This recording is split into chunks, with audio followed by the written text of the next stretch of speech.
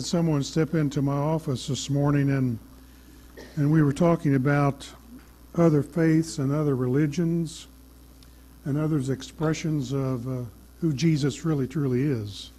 I'm going to be touching uh, briefly on that this morning, uh, but we recognize him here in this place of worship to be the Son of God, the only one that uh, can lead you to the Father. I'm the way, the truth, and the life, and no one comes to the Father except through me, Jesus said. And that's very, very true. Very, very true. Well, Otho, as I was uh, entering uh, the area of Lathrop this morning, I saw a bunch of snow geese out here north of town. I don't know if that's uh, what the ladies were stepping on or not. But I also saw some uh, snow geese uh, out of my patio door this morning. To me, that's a beautiful sight. And it reminds me of God's beautiful creation and how He spoke the world into existence and everything that we know. Uh, that's a beautiful, beautiful thing. He also created elephants. How does an elephant hide in a strawberry patch? He paints his toenails red.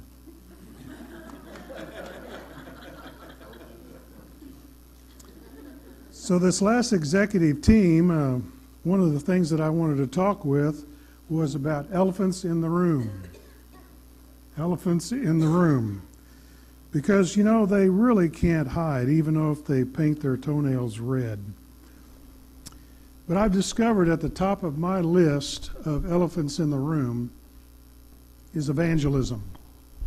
And that's what I want to talk about today evangelism personally about every church that Geneva and I have ever been involved in, and I took time to count it up this morning 13 different congregations. You're the 13th. 13 different congregations. You know, as Southern Baptists, we used to be known about our evangelism.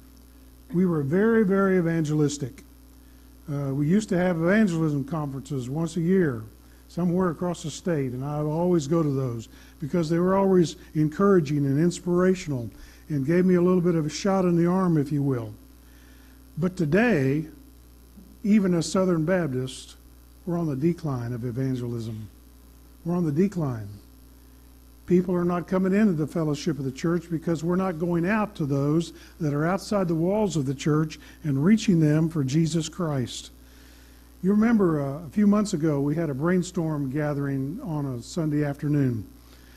And what really surfaced out of that brainstorm time, you as a congregation, as you were expressing some concerns and some points of prayer, the top of the list was evangelism. That was a little bit surprising to me, but it shouldn't be. Because evangelism is some of the things that we need to be emphasizing in everything that we do. Matter of fact, if there's anything going on at First Baptist Church of Lathrop in ministry and ministries, and it does not have one of the major things that you're emphasizing, evangelism, we need to stop. We need to stop. There was a time in Southern Baptist history that you actually came to Sunday school at 9:30 in the morning not just because you were a member of that class, but because you had someone that you were trying to reach for Christ and you invited them as a visitor to come with you so that they might be under the preaching and the teaching of the Word of God. Evangelism. Evangelism. But we're missing that today in most of our churches that I've ever been involved in. And I don't think Lathrop is any different than that. Now, I personally do not have what I would call the gift of evangelism or I'd be an evangelist instead of a pastor, instead of a pastor. But I do have the role of evangelism. Not just because I'm a minister, but because I'm a believer in the Lord Jesus Christ. And so every one of you, every one of you as believers in the Lord Jesus Christ have the responsibility and the role of evangelism. Evangelism. Somebody was talking this last week, I can't remember who it was now, it's immaterial at that point but they were highlighting the difficulty that they had on the workplace and the people that they were coming in contact with. That's a mission field, folks. That's a mission field. Wherever we're involved, and the purpose that God has placed you in that unusual circumstance, possibly, is so that you might become aware of those that do not know Christ as Savior, and you are the evangelist on the scene. And you need to be taking the good news of Jesus Christ to those that you're working with, those that you socialize with. So let's look at the familiar passage of Matthew, Matthew the 28th chapter, and I want to begin there in verse 16. Verse 16. Then the eleven disciples went to Galilee to the mountain where Jesus had told them to go. And when they saw him, they worshipped him, but some doubted. And then Jesus came to them and said, All authority in heaven and on earth has been given to me. Therefore go and make disciples of all nations, baptizing them in the name of the Father, and of the Son, and of the Holy Spirit, and teaching them to obey everything I have commanded you and surely I am with you always to the very end of the age. We're in the midst of all of that right now.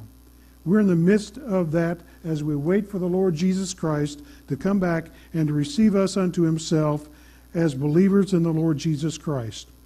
But here's the point. Ever since Jesus' birth, this has been God's command upon his kingdom's work.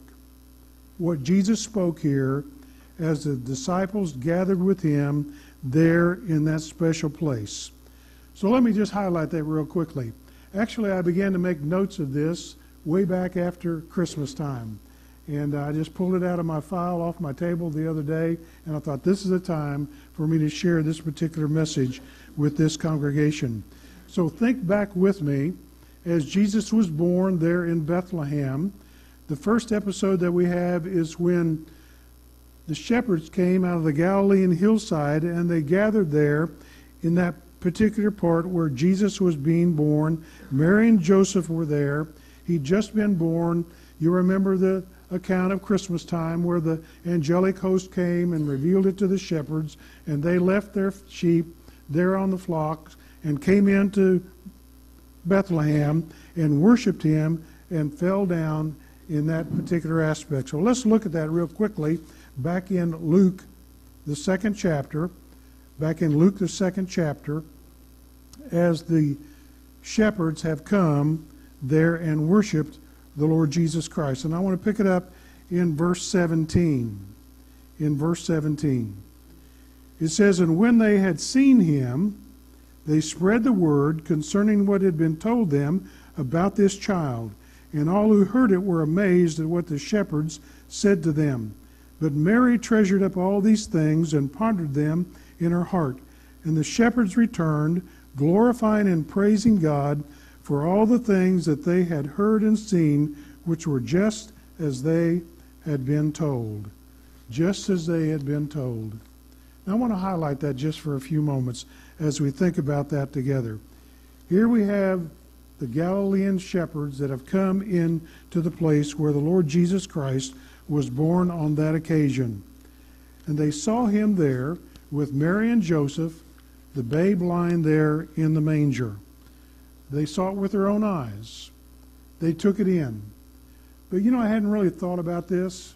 I wonder in that intermediate time of worship and being there in Jesus' presence and recognizing uh, all of the things about Jesus at that point. and I, I preached about that during Christmas time, so I'm not going to go into all of those great details about the shepherds.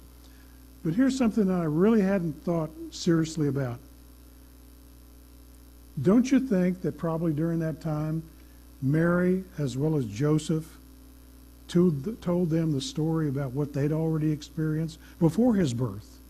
Before his birth. You know, the encounter that Mary had with Gabriel when she conceived of God through the Holy Spirit. And then Joseph, as he was contemplating whether he would go ahead and follow through with the marriage or not, because Mary now was with child and it wasn't his responsibility or his doing. And so the angel came to him in a dream and said, Don't worry about it, Joseph. I've got it under control. Everything's okay.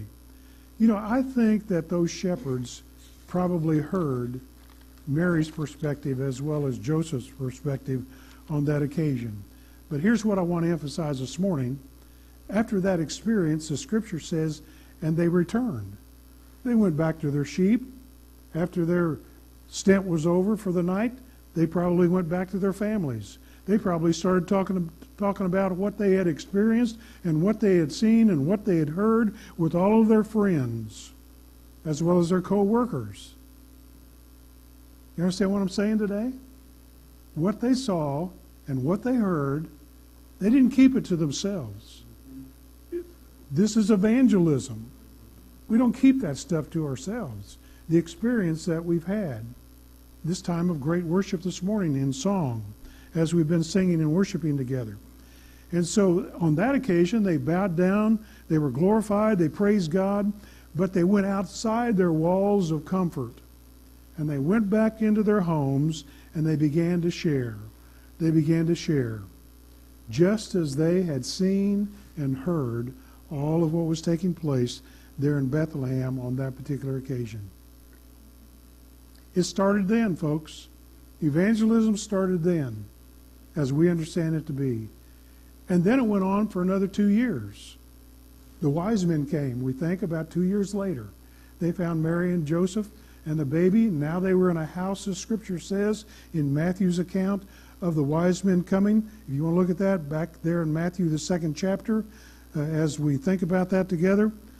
And so there they were, the wise men a similar experience of what the shepherds had had two years earlier, and now the wise men are going through that whole process. And guess what? I'll bet that Mary and Joseph shared the same stories again of all of what had taken place prior to Jesus' birth as well too. And so their experience was just as they had heard and seen, just like the shepherds there in Bethlehem on that occasion. But the scripture says they returned. They went back to the east. And they took all of that with them, the knowledge and what they had seen. And they began to share, I believe, with those back in their homelands. Sharing in evangelism. Sharing in evangelism. Telling the good story that they heard and seen and who Jesus truly was. So here it is for us. We've heard, we've seen by faith, but what are we doing with it? That's evangelism. And honestly, folks, even as Southern Baptists, we're failing in this particular aspect. We're failing in this aspect. We're not sharing on our workplace site. We're not sharing with our neighbors. We're not sharing with our family. We're not sharing with our friends like we should be, even as God instituted it there your family, your friends, your neighbors. A couple of weeks ago, Geneva and I were going to go down and visit with the kids around the Sedalia area, and so uh, we just were going through Higginsville on 13. And I'd seen this little greasy spoon restaurant, I would call it. That's what I thought it was. And so we decided, well, it's lunchtime, let's stop here. So they were open. We went in. I was really amazed. I was really amazed. This little place is called the Red Shanty. Have you ever been there? You ought to go sometime. You ought to go sometime. They've got great, great food. But here's the neat part about it. Not every time now, I, I must admit, not every time as I introduce myself to somebody or a waitress do I share and find out where they stand, but I did with this young lady. She was very, very gracious. matter of fact, Geneva said, Boy, you better tip her well. well, I don't know if I did well or not, but I did tip her. I did tip her. But she was a lovely young lady. And so the Lord said, He just landed on my shoulder and said, Hey, Rodney, bring up Jesus. And so I said, Young lady, do you know Jesus Christ as the Savior and the Lord of your life? And she said, Well, yes.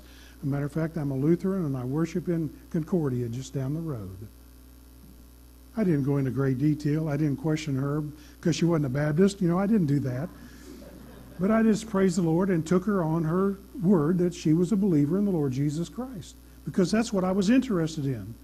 Do you know Jesus as a Savior and the Lord of your life? Do you do that? Those people that you come in contact with? Evangelism.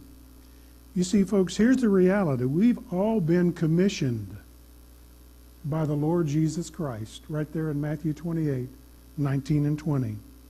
We've all been commanded, but here's my second point we've also been empowered. We have been empowered to do that. You don't have to do that on your own. All you need to do is open yourself up to the Holy Spirit. And when He says, Rodney, open up your mouth and ask this young lady if she knows Jesus as her Savior, and then take the conversation from there. You don't have to be skilled. It's a responsibility that we have as believers to share the good news of Jesus Christ. So turn with me to Acts, the second chapter. This is where God's empowering in great force began. In Acts, the second chapter, when the Holy Spirit came upon Peter and the disciples that were gathered there in the upper room. Remember that? I'm not going to go into great detail here, but I just want to highlight this for us this morning. You with me? After Jesus had gone to be with the Father, they were there in Jerusalem. They were gathered together. They were scared for their life because they thought they might be crucified as well as arrested and killed in whatever fashion. And so they gathered together. And that's when the Holy Spirit came upon them as believers and anointed them as tongues of fire, the scripture says. And then Peter and the apostles began to speak in foreign languages. Literally, that's what they were doing. Because at this particular time of Pentecost, there were people from all over the nations that had come together in Jerusalem to worship and celebrate there in the temple. And so, as they heard them speaking in their own tongue, they gathered together and wanted to know what was going on.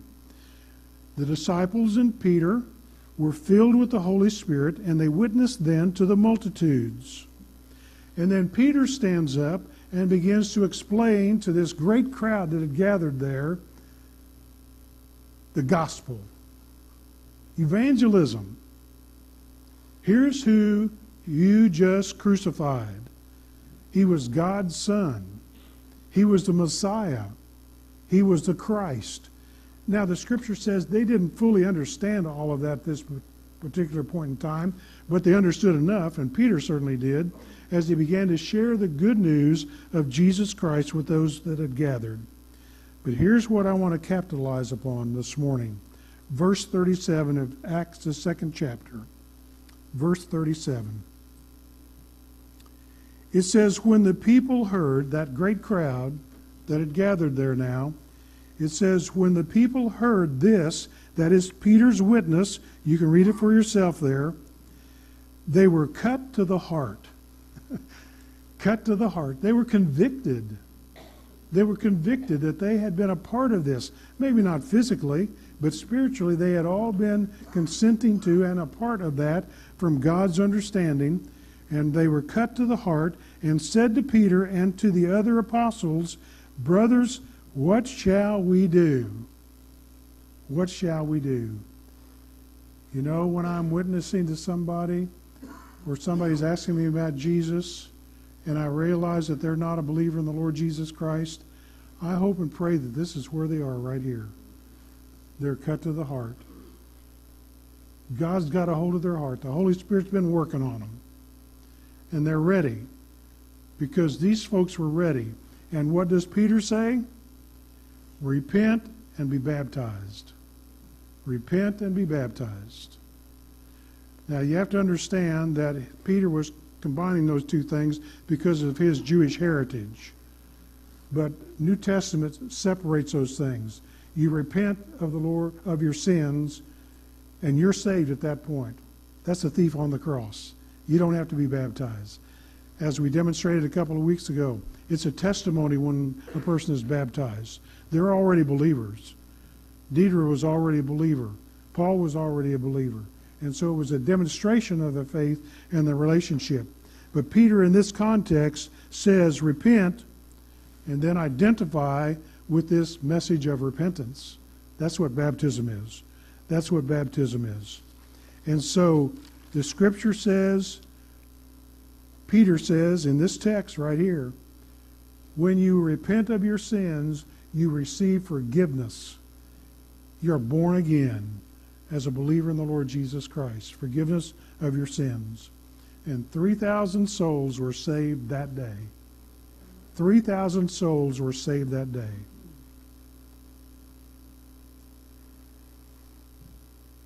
Have you experienced Pentecost?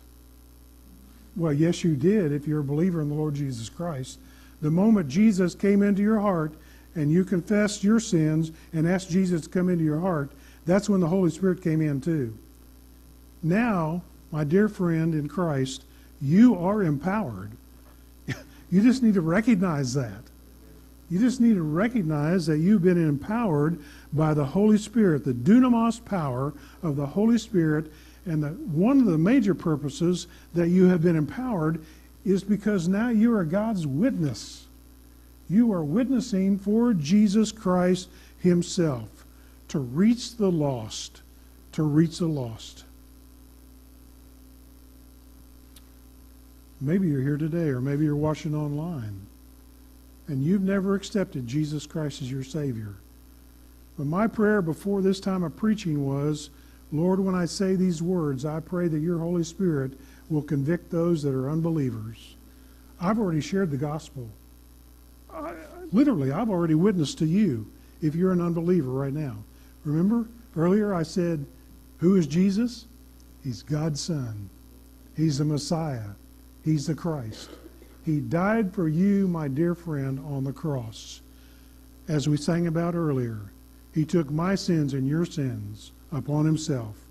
And the Scripture says God had to turn His way, His face away from His Son at that moment, instantaneous moment, because He was bearing the sins of the world.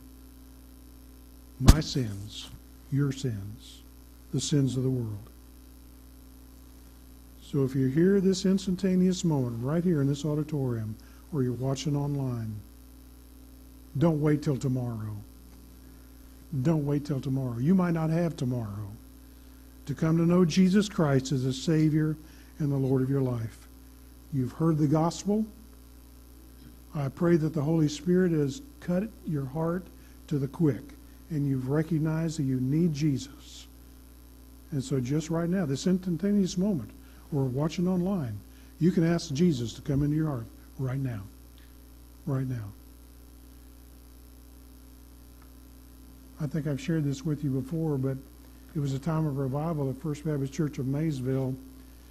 And there was a lady of the community that had just walked away from the Lord. And she told me she left that night. Brother Rodney, I really wanted to come forward tonight during the invitation. But I'm going to come tomorrow night and I'm going to come forward. And I said, You don't have to wait for the invitation. Tomorrow night we'll deal with it. I'll just give you an opportunity right in the middle of the worship service. And that's what we did. Before the invitation. As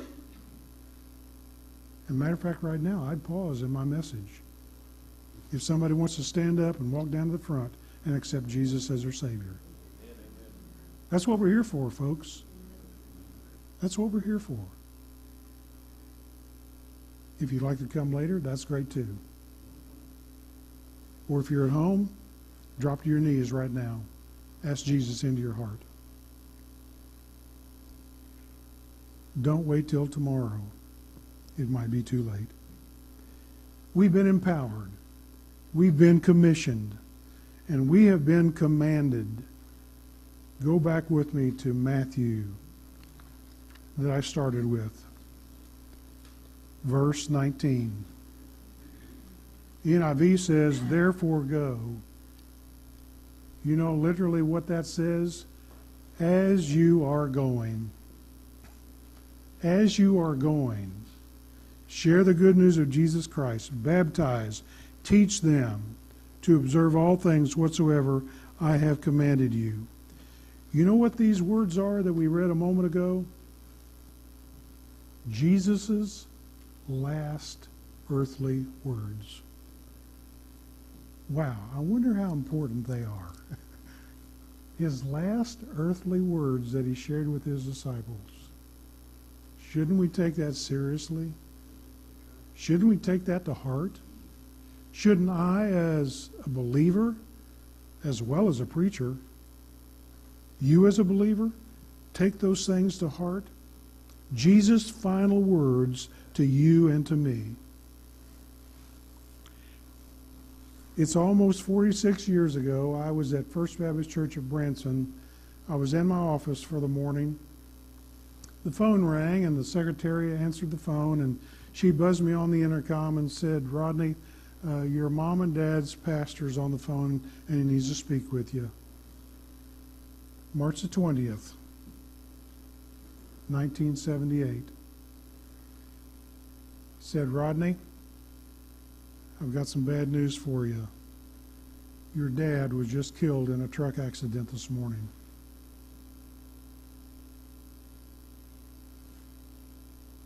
I wish I could have remembered the last words that my dad had shared with me on earth.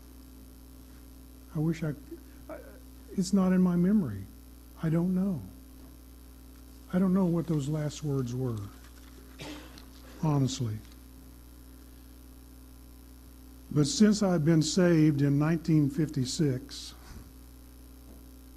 I've heard Jesus' last words numbers of times. Numbers of times. I've heard them clearly. I've heard them numerous times. I've studied them in depth. I've even quoted them at times. King James Version. But here's the question for the morning. But am I following him on his invitation faithfully and obediently? Have I heard his commission? Have I heard his command? And am I obedient in sharing? In sharing. There are times that Geneva and I are out eating somewhere and I get up and we go to our car and I think, I should have talked to that young man. I should have said something to that young lady. How about you, my friend? You see, we've been commissioned and commanded to share. I've never saved anybody. He didn't ask us to save them. He's already done all the work that needs to be done. He's just asked us to share Him with them. And that's what evangelism is. That's what evangelism is. Bill Fay, who put together an evangelistic tool, I don't know if you've ever had it or not here at First Church Lathrop, but it's a good study if you've never done it before. He says about the seventh time that an unbeliever hears the gospel and the Holy Spirit's been working on them, that seventh time is magical. You see, I, when I talked to that young lady there in Higginsville, I didn't know whether she was a believer or not. If she had been an unbeliever, it could have been the first time that somebody talked to her. It could have been the fifth time. But I've had seventh time encounters.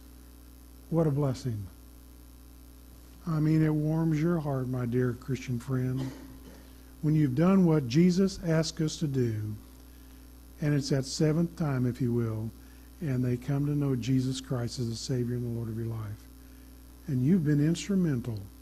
You've just been one of God's tools out of his toolbox that he wants to use on a regular basis. That's, that's what evangelism is.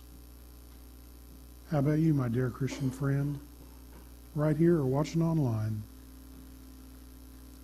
How many times have you heard Jesus' last words on earth? And are we faithfully and obediently sharing because we've been commissioned, commanded, and empowered?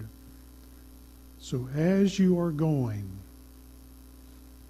might be this afternoon. It might be a family member. Talking with my brother the other day. And he said, Rodney, uh, you might not have got word yet, but uh, one of our cousins just died. I'd never witnessed to that cousin that I can remember. I should have. Haven't seen him in years. And so I don't know if he's a believer with the Lord or whether he's in hell right now in punishment and torment. How about you?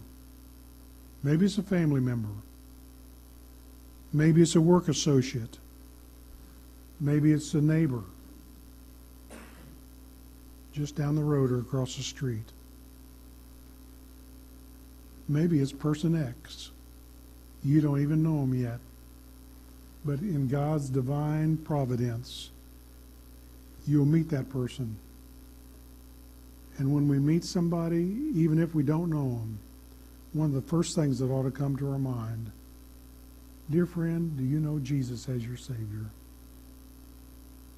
Lord, you've empowered me. Now help me to open my mouth and just say simply, if you were to die today, would you see God face to face because you know Jesus as your Savior? And just take it from there.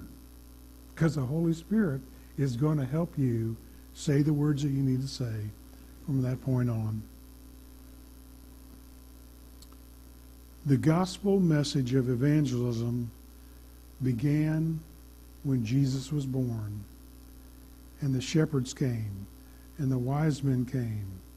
And then as Jesus grew to 33 years of age, Peter and the other apostles continued to carry on the message of evangelism.